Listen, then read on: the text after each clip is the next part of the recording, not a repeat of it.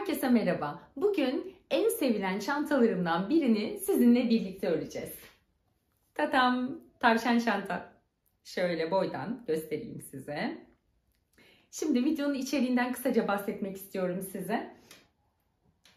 Çantanın örülüş detayları, dikiş detayları, ne kadar ip kullanacaksınız, bitmiş hali kaç gram olacak, uzunluğu, ebatları ne kadar olacak. Bunlarla ilgili tüm detayları videoda e, belirttim. Özellikle dikiş üzerinde fazla durmaya çalıştım. Kulaklar nasıl sabit durur, askı nasıl dikilmelidir, işte gözlerin yeri nasıl ayarlanmalıdır şeklinde püf noktaları da paylaştım elimden geldiğince. Umarım beğenirsiniz. İplik ve tığ bilgileri zaten videonun içerisinde var. Ben yine açıklama kısmına ekliyorum.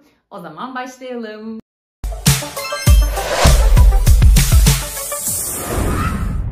Tane de şöyle bir lila rengi örelim istiyorum.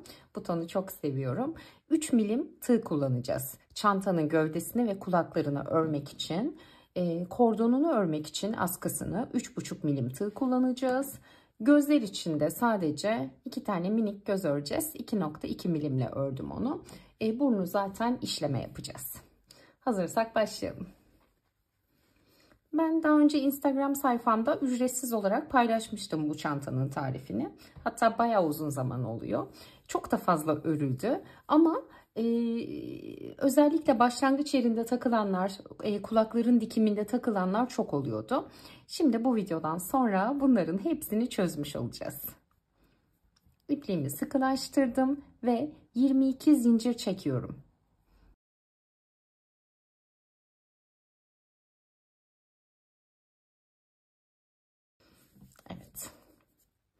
22 zincir çektik. İpliğimizi tığa bir kere doladık. 1, 2, 3. Üçüncü zincirden itibaren geriye dönerek her ilmeğe bir tane yarım trabzan örüyoruz. Bakın ipliği doladım. Battım. Ve tek seferde 3 ilmeği de çıkardım. İpliği doladım. Battım. Ve tek seferde çıkardım. Son bakın şurada sonda bir tane zincir var. Bu zincire gelene kadar her ilmeğe bir tane yarım trabzan örelim. Yani toplamda 19 tane yarım trabzan örüp bekliyorsunuz.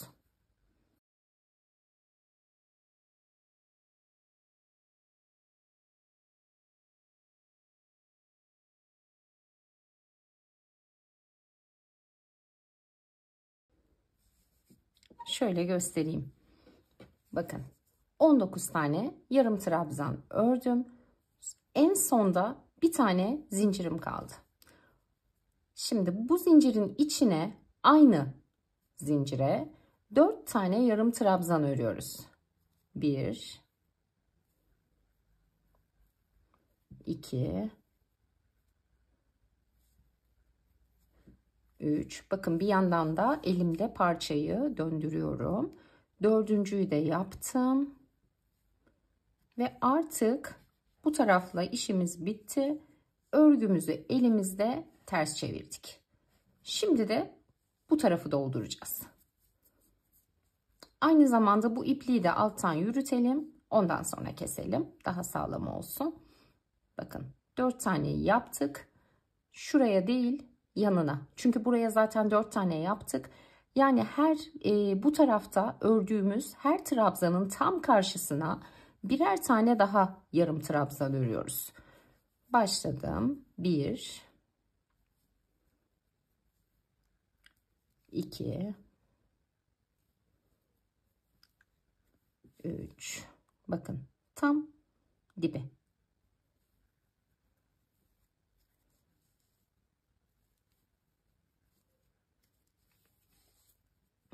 Artık bu ipliğimizi kesebiliriz. Kafanızı karıştırmasın. Şimdi burada yine şu en sonda bir ilmek kalana kadar yarım trabzan örmeye devam ediyoruz. Yani bu tarafa da toplam 18 yarım trabzan örmüş olacağız. En sona gelip beni bekleyin.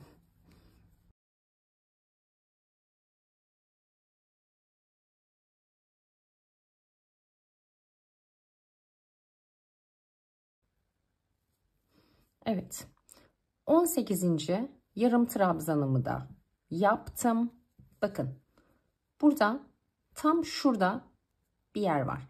Burası ilk başta yarım ilk yarım trabzanımızı ördüğümüz ilmek aslında. Yani burayı bir tane yapmıştık. O yüzden şimdi buraya 3 tane daha yapacağız aynı ilmeğe. Yani hem buradan 4 ilmek hem de buradan 4 ilmek arttır, arttırmış oluyoruz. Bu mantığı kurduğunuzda tüm çantaların tabanını çok rahat yapacaksınız. Buradaki son noktaya 4 tane yarım trabzan yapmıştım. Yani burada dörtlü bir arttırma yaptım. Burada da dörtlü yapmam gerekiyor. Ama zaten bir tane başlangıçta şu tarafta örmüştüm. O yüzden 3 tane daha yapıyorum onun dibine. Bakın tam aynı nokta şurası. 2 3 yaptım. Şimdi burası çok önemli. Burada ilk yaptığımız trabzanın tepesine bir ilmek kaydırma yapmamız gerekiyor. Bakın örgüm böyle. Şurada başta bıraktığımız zincir var. Buraya batmıyoruz. İlk yaptığımız yarım trabzan. Bunun ilmeği hangisi? Şurası. Buradan tığımızı geçiriyoruz ve bir ilmek kaydırma yapıyoruz. Bu kadar. Tekrar gösteriyorum. Burada bitirdim turu.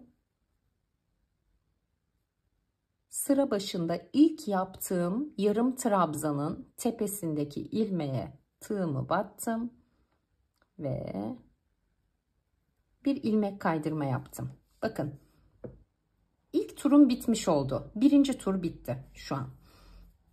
Her sıra sonunda biz bu işlemi yapacağız ve yeni sıraya iki zincir çekerek başlayacağız. Bakın iki zincir çektim ve bu zincirleri yarım trabzan olarak saymıyoruz. Yani bu ne demek oluyor? Yeni tura başlarken sıradaki ilmekten değil bu ilmekten başlayacağız. Zinciri çektik ve dibine. Yani az önce SLST yani ilmek kaydırma yaptığımız ilmeğe bir yarım trabzan yaparak başlıyoruz bakın. Bu şekilde ikinci sıraya geçmiş olduk. Şimdi burada da 20 tane yarım trabzan örüyoruz ve 2 tane arttırma yapacağız. Tam buraya denk gelecek yine kenar kısma. 20 tane trabzanımızı örelim.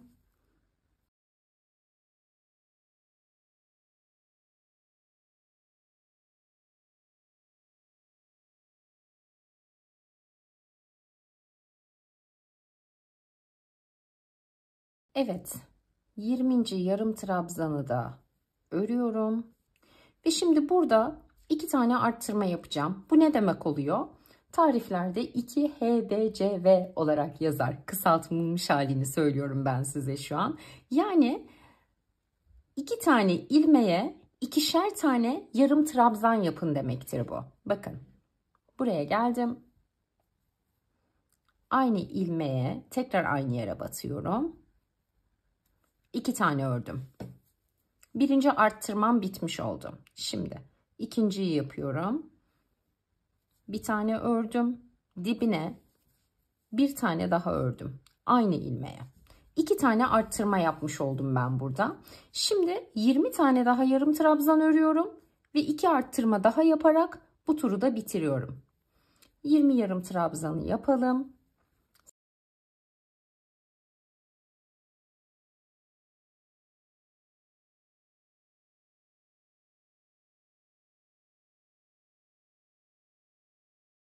Evet. Şimdi 20. yarım trabzanımı yapıyorum. Bakın burada e, burası çok karıştırılan bir nokta aslında. Buraya dikkat çekmek istiyorum. Şurada bakın bir yer daha görünüyor. Aslında burası ilmek değil. Bizim şurada son iki ilmeğimiz kaldı. Arttırmalarımızı oraya yapacağız. Şimdi birinci arttırmamı yapıyorum. Bir tane yarım trabzan ördüm. Aynı ilmeğe bir tane daha yarım trabzan ördüm. İkinci arttırmamızı da yapalım. Yarım trabzan ördüm. Aynı ilmeğe bir yarım trabzan daha ördüm. Evet, en önemli yer diyebilirim. Bakın, burada şuraya örmüyoruz. Son trabzanımız burada ve onun tepe ilmeği burası. Yani demek ki burada bitiyor bizim örgümüz.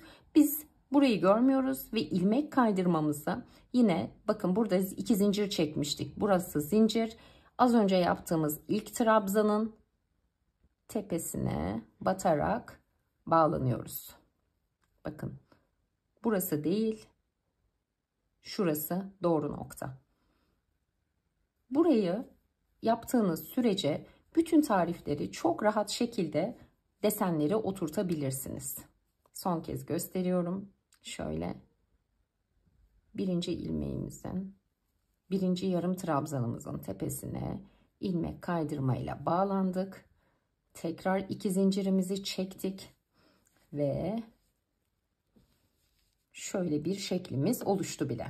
Artık buradan sonrası dümdüz yukarı çıkmak. Burada tekrar söylüyorum en önemli nokta turun başında iki zincirinizi çekin ve dibinden itibaren sayarak örün lütfen. Saydığınız sürece hiçbir sıkıntı yaşamazsınız. Çünkü saydığınız zaman şurası da kafanızı karıştırmayacak böylece. Şu an 48 ilmek elde ettik biz. Buradan başlayıp dönerek ördüğünüzde tam şurada 48. yarım trabzanınızı yapmış olacaksınız. Hadi bir tur daha örelim beraber. Dibine battım. Hatta şöyle tekrar göstereceğim. Burası gerçekten kilit nokta. İki zincir çektik. Dibine battık zincirin. Birinci yarım trabzanımızı ördük. Ve sonra her ilmeğe bir tane yarım trabzan örüyoruz bakın. Arttırma, eksiltme hiçbir işlem yok. Hepsine bir tane yarım trabzan e, başlangıçta aklınızda oturana kadar dediğim gibi sayarak örmenizi tavsiye ediyorum. 48 tane yarım trabzan yapmanız gerekiyor. 48. yaptığınız zaman yine birinci ilmeğin tepesine batarak ilmek kaydırmayla birleştiriyorsunuz ve iki zincir çekerek yeni tura başlıyorsunuz. Hadi bu turu bitirelim. Sıra başında buluşalım.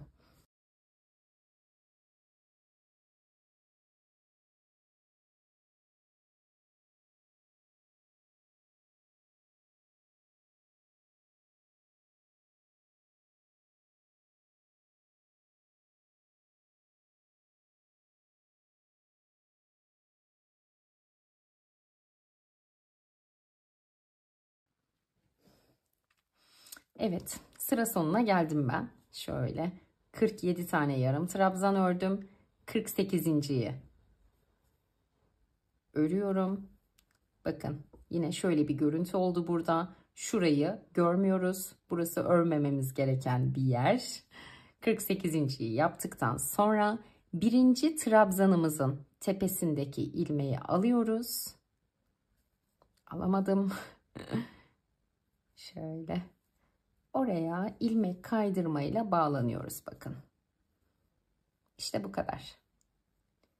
Hemen zincirimizi çekiyoruz ve dibinden itibaren örmeye başlıyoruz. Şuradan itibaren. Böyle ördüğünüz sürece sayılarınız birebir tutacaktır. Desen birebir oturacaktır. Hiçbir sıkıntı yaşamayacaksınız. Emin olabilirsiniz en önemli yerini gösterdim ben şimdi size. Artık buradan sonrasını örebilirsiniz. Ee, ilk iki sırada arttırmamızı yaptık.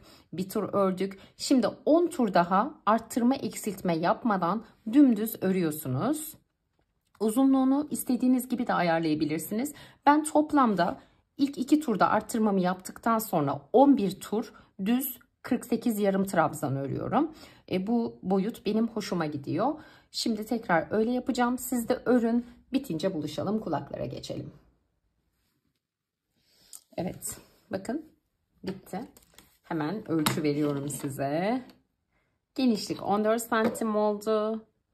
Yükseklikte 13 santim diyebiliriz hemen hemen. Arkası şöyle görünüyor. Bakın ilmek kaydıra kaydıra geldiğimiz için şu kadar çok hafif bir kayma oluyor. Dümdüz çıkmıyor. Bunu da söyleyeyim.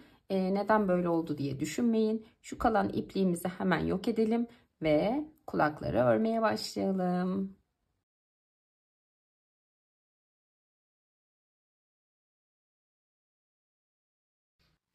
Evet kulaklarda da 3 milim tığ kullanıyoruz. Sihirli halka için öreceğiz kulakları. Sihirli halkamızı yaptık ve 2 zincir çekerek başladık. Sihirli halka içine 6 tane yarım trabzan örüyoruz arkadaşlar. 1 zinciri saymıyorsunuz. 2 3 4 5 ve 6 halkamızı sıkıştıralım birinci yaptığımız trabzanın tepesindeki ilmeğe ilmek kaydırma ile bağlanıyoruz. Bakın 1, 2, 3, 4, 5, 6 zorlanabilirsiniz görmekte. Başta çektiğiniz iki zinciri karıştırmayın. O yüzden saymakta fayda var her zaman. Bakın şurası birinci yaptığım trabzan. Tepesindeki ilmeği aldım ve diğer ilmeğimin içinden geçirerek ilmek kaydırmamı yaptım. Böylece birleştirmiş olduk.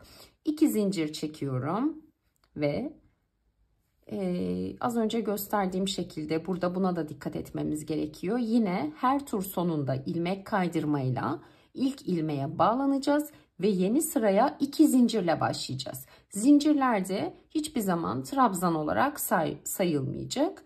O yüzden dibinden itibaren tekrar örmeye başlıyorum. Zinciri çektim. Dibine bir tane yarım trabzan ördüm. Şimdi burada 3 e, sıra arttırmamız olacak. Onları dikkat edelim. Bir yarım trabzan ördüm. İkinci yarım trabzanımı ördüm. Üçüncü ilmeğe iki tane yarım trabzan örüyorum. Aynı ilmeğe iki tane yarım trabzan. Yani arttırma yapıyoruz. Evet. Şimdi tekrar aynısını yapıyoruz. Bir yarım trabzan ördüm ikinci yarım trabzan ördüm ve son ilmeğe iki tane yarım trabzan ördüm. Yani 6 ilmekten 8 ilmeğe ulaşmış olduk biz şu an. Ve yine az önce gösterdiğim şey söz konusu. Şurayı görmüyorsunuz. 8 ilmeğe ulaştım. Her ilmeğe e, örgümü çalıştım. Şurada ilk yaptığım yarım trabzanın tepesindeki ilmeği alarak ilmek kaydırmayla bağlandım. Ve tekrar iki zincir çektim. Bakın şöyle bir görüntümüz oldu. Şimdi 10 ilmeğe ulaşacağız. Zincirin dibinden itibaren tekrar örmeye başlıyorum. Bir yarım trabzan yaptım. İkinci yarım trabzanımı ördüm. Üçüncüyü de ördüm ve sıradaki ilmeğe iki tane yarım trabzan yapıyorum. Yani burada bir arttırma yapıyoruz. Aynı ilmeğe iki tane ördüm. Şimdi tekrar aynı işlemi yapıyoruz. Bir yarım trabzan. Bir yarım trabzan. Buraya da bir. Son ilmeğe iki tane yapıyoruz. Yani 3 tek bir çift yapmış oluyoruz burada da ve 10 ilmeğe ulaşmış oluyoruz böylece. Bakın yaptım ve ilk yarım trabzanımın tepesindeki ilmeğe bağlandım. Ve zincirimi çektim. Evet şimdi 15 sık 15 ilmeğe ulaşacağız bu turda. Arttırmamızı ona göre ayarlıyoruz. Yani ne yapmamız gerekiyor? Bir tek bir çift öreceğiz arkadaşlar bu turda. Zincirin dibinden itibaren başladım bir tane yarım trabzan. Sıradaki ilmeğe iki tane yarım trabzan. Aynı ilmeğe iki tane yarım trabzan ördüm. Tekrar bir trabzan. Sıradaki ilmeğe iki tane trabzan diyorum arada ama e, bütün tarifi yarım trabzanla ördük arkadaşlar. Oradan e, anlayın siz. Arada dilim sürüşüyor. Şuraya da arttırmamızı yapalım. Evet. bir tek bir çift yarım trabzan sonuncuyu yapıyoruz bir tane yarım trabzan ve son ilmeğe yine aynı deliğe iki tane yarım trabzan ördükten sonra ilmek kaydırmamızı yapıyoruz.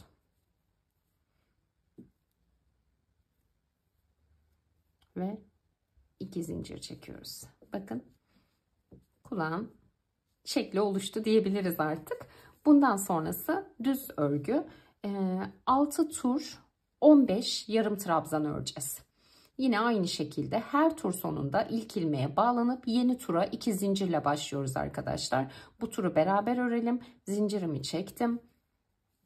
Birinci yarım trabzanımı ördüm.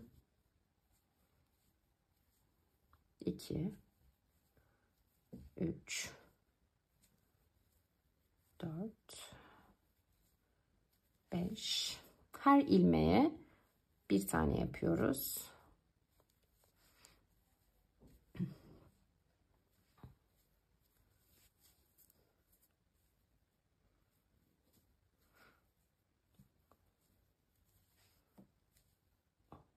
Hızlı örmemeye çalışıyorum. Anlaşılır olsun diye. Umarım oluyordur. Takıldığınız yerleri yine açıklama kısmında sorabilirsiniz. 14 ve 15. Bakın birinci turumuz bitti. Yine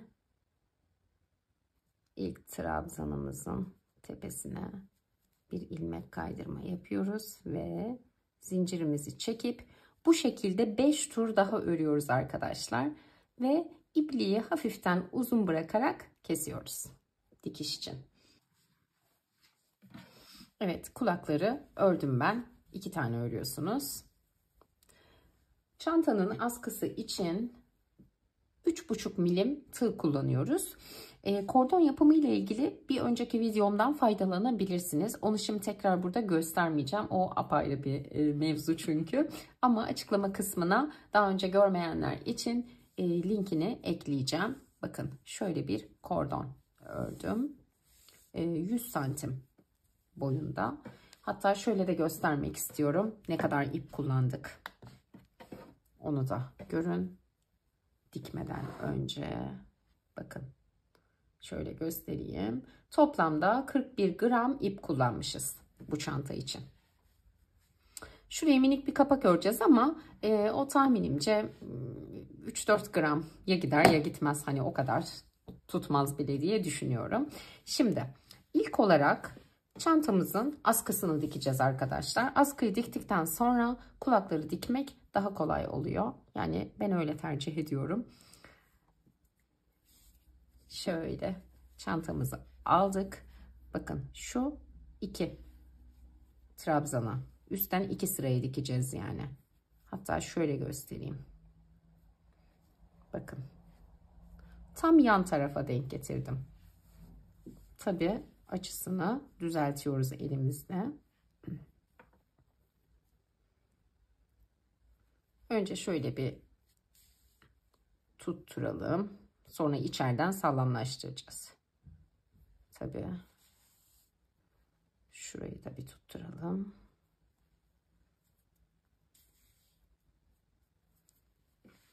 Bakın.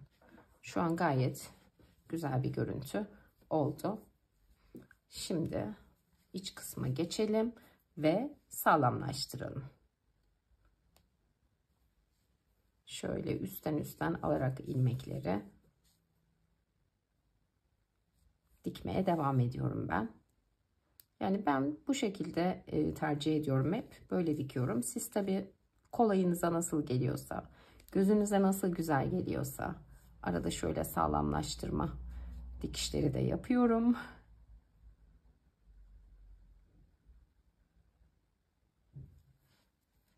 Çünkü çocuk çantalarında genelde astar olmuyor. Ee, içeride de temiz bir görüntü olsun istiyoruz haliyle bu yüzden. O yüzden dikkat etmekte fayda var.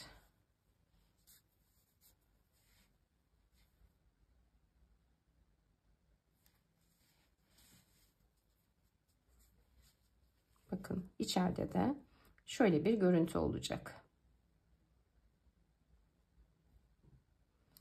Şurayı da sağlamlaştıralım.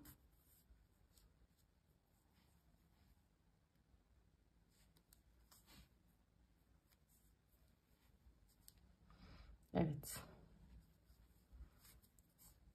İpliği hafifçe bir yürütüp kesebilirsiniz.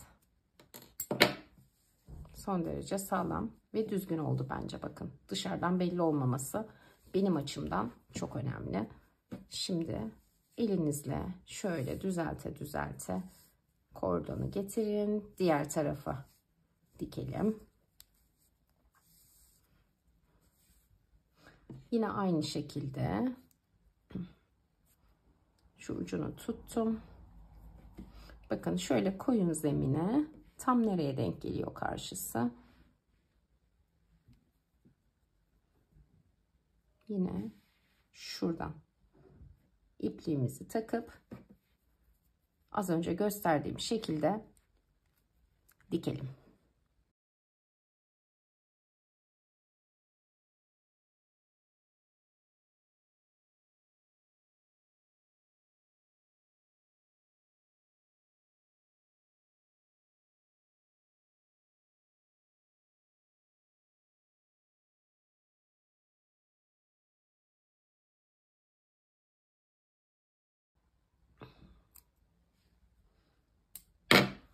Evet. Burası da bitti. Şimdi askımızı diktiğimize göre kulakların yeri artık belli. Kulaklarda 15 ilmek vardı en sonda. Yani ben şöyle tutturuyorum bunu. Şuradan itibaren sayın. Önden 7 tane ilmeğe dikiyorum ön tarafı. Arkada zaten 7 ilmeğe denk geliyor. 2, 4, 6, 7. Bakın şuradan başlayıp şuraya kadar dikeceğiz. Evet ben kulağın bir tanesini diktim. Kulaklar neden düşüyor diye çok soru geliyordu bana bu çantaya örüldüğünde. Elimden geldiğince tarif ediyordum ama bu sefer uygulamalı olarak gösterdim size. Şu sabitleme kısmını da yaptım. Ve tek kulak bitmiş oldu. Şimdi diğer kulağı beraber yapacağız. Bakın şöyle aldık elimize kulağı. Şimdi tavsiyem başlangıçta en azından e, işaretleyici iğnelerden faydalanmanız. Şuraya bir tane iğne takıyorum. 15 ilmek vardı burada. 7 önde 7 arkada gibi düşünürsek diğeri yana gelecek. 1, 2, 3, 4, 5, 6, 7. Yani kulak bu ilmeklere dikilecek. Öyle düşünün. Ee, 7 ilmek şuradan dikeceğiz. Öne gelen 7'yi de buradan dikeceğiz. Burası çok önemli arkadaşlar. Çünkü e, kulak dikiş tekniğimi ben seviyorum. Umarım siz de beğenirsiniz. Çok soruluyordu. Gösterememiştim daha önce. Bakın şu kulağı şu. iki ilmeğe aynı anda dikmiyorsunuz. Arka kısmını arkadaki ilmeklere dikiyoruz. Şuradan bu iğneyi alabiliriz. İpimizi geçirdik. Bakın şuradan şuraya direkt dikiyoruz. Şimdi ön tarafı dikerken daha iyi oturacak aklınızda. Tekrar arka ilmeğe aldık. Yine arka ilmek ve burası.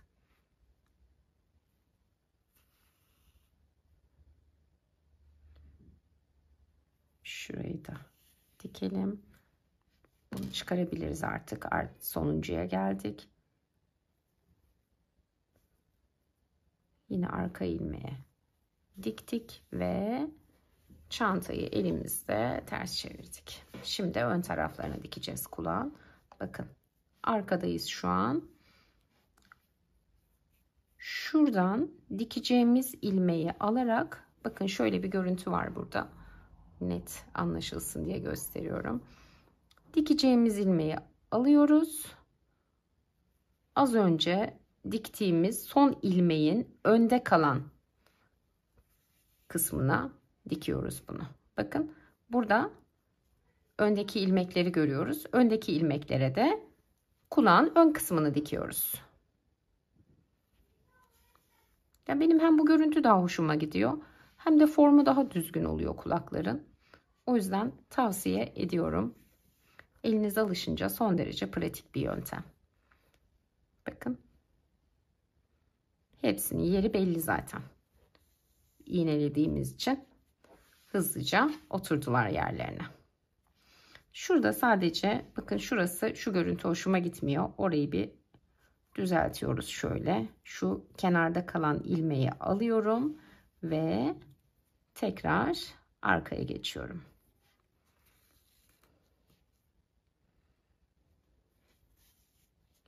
Şimdi şurayı yapacağız arkadaşlar.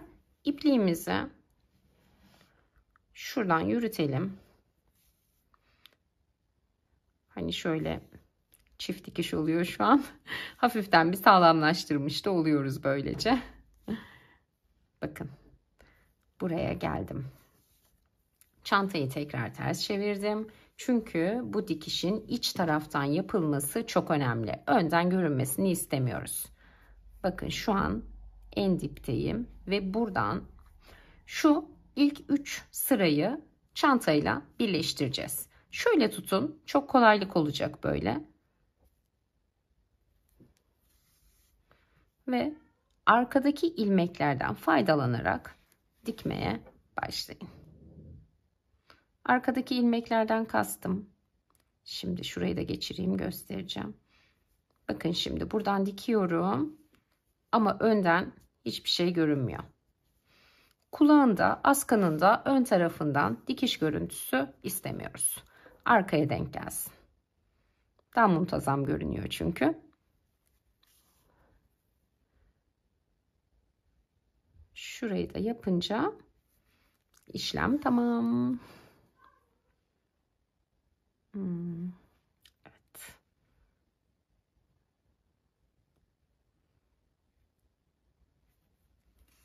Şöyle bir sağlamlaştıralım. Bakın. Hem görüntü gayet güzel hem de kulakların düşmesine engel oluyor. Ben böyle bir çözüm buldum kendimce. En başından beri de e, bu teknikle örüyorum çantalarımı. Olumsuz bir geri dönüş almadım. Tavsiye ediyorum o yüzden böyle yapmanızı. İpliğimizi biraz yürütüp kesebiliriz.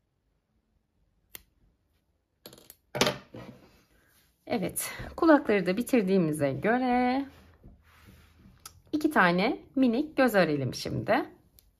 Ben kahverengi iplik kullanıyorum. Evde olan herhangi bir marka kullanabilirsiniz. E, siyah da olabilir. Nasıl arzu ederseniz. Gözleri sihirli halka içine 5 sık iğne yapıp halkayı kapatarak örüyoruz.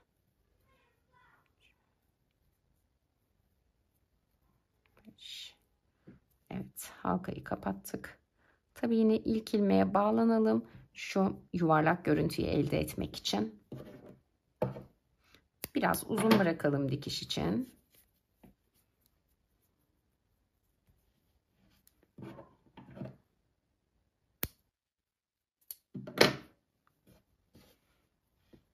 Bakın. Bu minik gözler yakışıyor. Tabii ki siz kendi zevkinize göre büyütebilir, küçültebilir, rengiyle oynayabilirsiniz. Zevkinize göre veya çocuğunuzun talebine göre. Ve 5 bir tane daha yaptık. Şimdi ben kendi diktiğim yeri ve mesafesini söyleyeceğim size. E, tabii ki dediğim gibi bu tip detaylar artık sizin zevkinize kalmış. Birebir aynısı olsun isterseniz söylediklerime tamamen uyabilirsiniz. Bunu da hazırladık. Şimdi yukarıdan aşağı sayıyoruz. 1, 2, 3, 4, 5. Ben 6. tura dikiyorum gözleri. Biraz aslında çoğu zaman göz kararı ayarlıyorum yerlerine. Genelde şu iki kulağın dibinden aşağıya şöyle indiriyorum parmağımla. Yani bu benim hoşuma gidiyor. E, sonrasında da şuraya minik bir burun işliyoruz.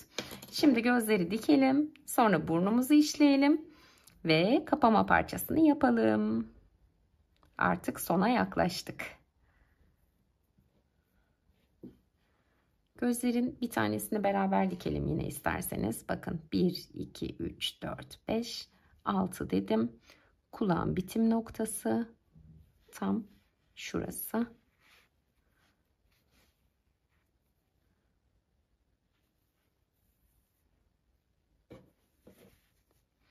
Dikiş e, her parçada en önemli şey bence oyuncağı da çantayı da dikiş gösteriyor. İstediğiniz kadar güzel örün e, ama dikerken yapılan küçük hatalar görüntüyü gerçekten bozabiliyor. O yüzden ben çok önemsiyorum bu dikiş mevzusunu. Şu an tabi gösteremedim elimde döndürürken ama yine bir bir her ilmeği alıp sabitliyoruz. Bakın şu kadar. Şurayı da yapalım. Yine ipliğimizi arkada sağlamlaştıralım ve keselim. Şimdi bu arkada da temiz görüntü olmasını istiyoruz bir yandan. Ama e, İlla ki tabi görünüyor dikiş izlerimiz ufak tefek ama bence rahatsız edici olmuyor. Şu kadar bir şey var. Şöyle göstereyim hemen. Bakın şimdi diğer gözü de dikelim sonra bunu işleyelim.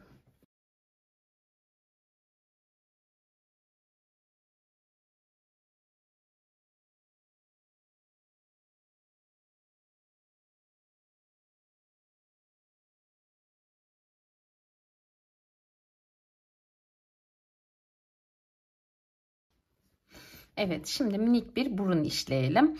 Burnu ben şu sıranın hemen dibindeki 3 ilmeğe işliyorum. Krem rengi iplik kullanacağım bu sefer.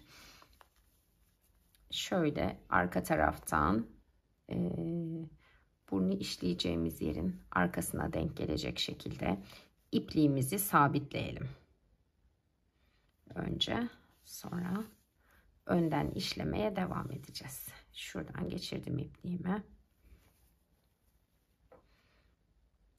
Sanırım şuraya batsam şuradan çıkarsam tam denk gelecek gibi görünüyor. Bunu ortalarsınız artık e, göz kararı diyeyim. Şu 1, 2, 3 şu 3 ilmeğe işleyeceğiz. Tam ortasına denk geldi. Ben e, şuraya kadar indirmek istiyorum burnu. Mesafesini de istediğiniz gibi ayarlayabilirsiniz.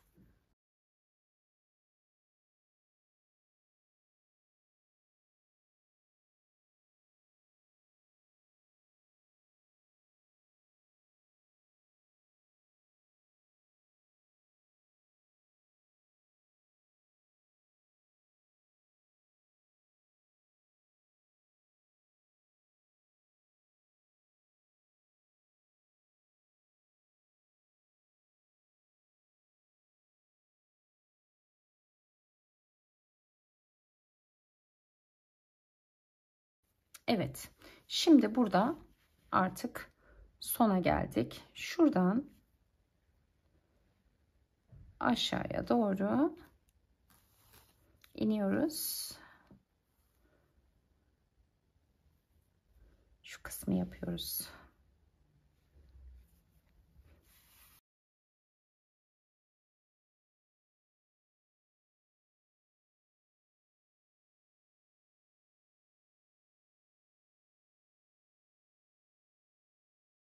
Evet artık sona doğru geldik.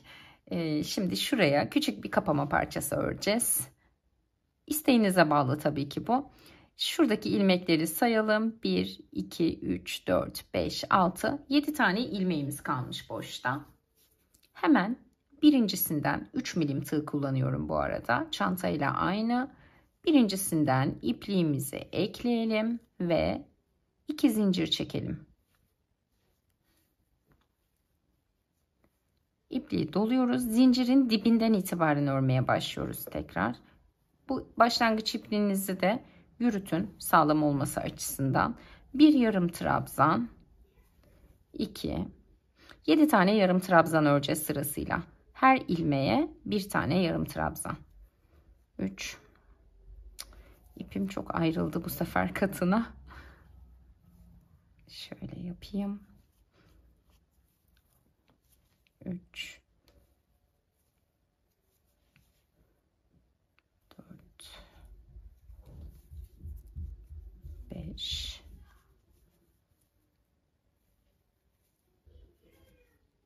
6 ve 7 Şimdi burada da her sıra sonunda iki zincir çekiyoruz ve geri dönüyoruz. Bu ipliğimizi keselim bu arada. Birinciden itibaren yine 7 trabzan örüyoruz. Yarım trabzan. 2 zincirin dibinden başladık. 3 4 5 6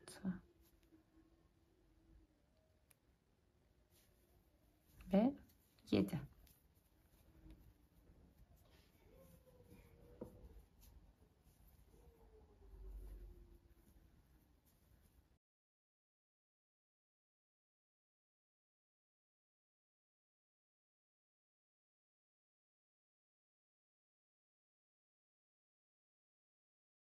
Şimdi oraya ekleyeceğimiz düğme için bir ilik öreceğiz. Bunun için ne yapıyoruz? Şurayı söyleyeyim öncelikle. 1, 2, 3, 4. 4 tur 7 yarım trabzan ördük arkadaşlar. Her turun sonunda geri döndük ve 2 zincir çekerek yeni tura başladık. Bakın şimdi yine zincirin dibinden itibaren 1 2 tane yarım trabzan yaptım. 2 zincir çektim.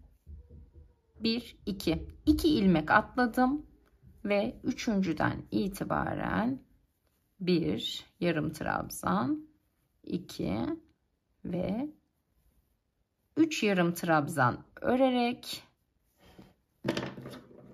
bitirdim.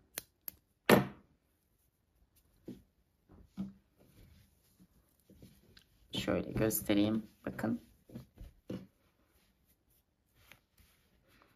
böyle bir minik parça oldu. Çocuklar için gayet ideal. Minik elleriyle açıp kapatabilecekleri sevimli bir düğme de dikeceğiz şimdi arkasına. İstediğiniz gibi bir düğme tercih edebilirsiniz. Bu ipliğimizi tabi yok ediyoruz şuradan.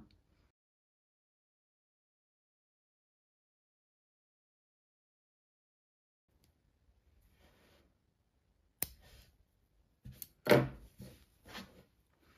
evet.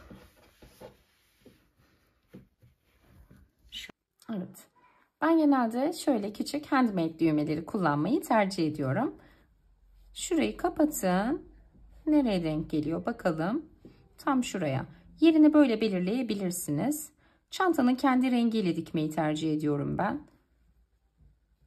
Düğümümü attım sağlam olması için. O yüzden şöyle direkt geçiriyorum buradan. Yine arkadan görünmesini istemediğim için düğümün düğmenin altına denk getirdim. Şöyle bir sıkıştırdım. Bakın. Tam şuraya sağlam şekilde dikebilirsiniz. İstediğiniz tarzda bir düğme kullanabilirsiniz tabii ki. Ben standart olsun diye hepsinde boy boy handmade düğmesi kullanıyorum. Ahşap görünümde hoşuma gidiyor. Her renge yakıştırıyorum. Düğmenizi diktikten sonra yine ipliğinizi sağlamlaştırmayı unutmayın.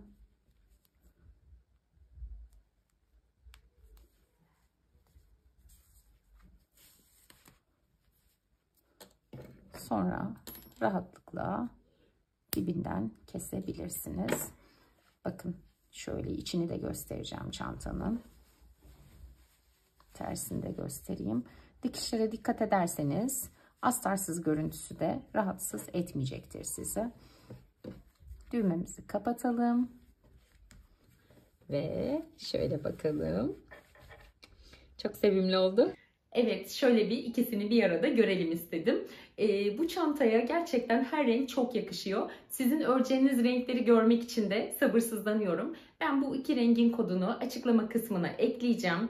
Ee, bu renklerde örmek isterseniz kolaylık olur sizin için. Kordon yapımı ile ilgili videoma göz atmayı unutmayın eğer takılırsanız. Ve çantamı beğendiyseniz, videoyu beğendiyseniz beğen tuşuna basmayı ve hala abone olmadıysanız kanalıma abone olmayı unutmayın. Görüşmek üzere, hoşçakalın.